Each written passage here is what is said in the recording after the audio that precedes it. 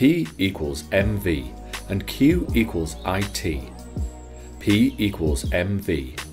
Momentum in newtons is equal to mass in kilograms multiplied by velocity in meters per second. P equals mv. If a mass is moving at some velocity, then the momentum of that mass is equal to the mass multiplied by the velocity. P equals mv. To make mass the subject of the equation, if you know the momentum and the velocity, divide through by velocity. That is, move the v under the p. p over v equals m. Momentum divided by velocity equals mass. p equals mv.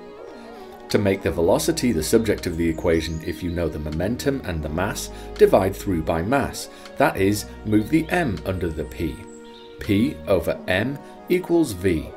Momentum divided by mass equals velocity. P equals mv. Q equals it. Charge in coulombs is equal to current in amps multiplied by time in seconds. Q equals it.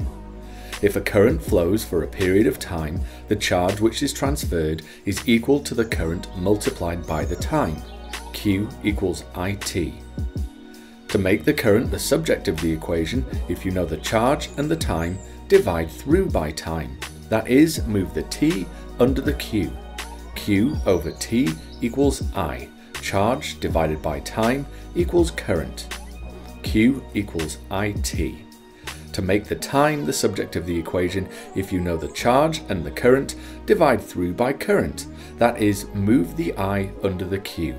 q over i equals t. Charge divided by current equals time. Q equals IT. This lesson's equations were P equals mv and Q equals IT.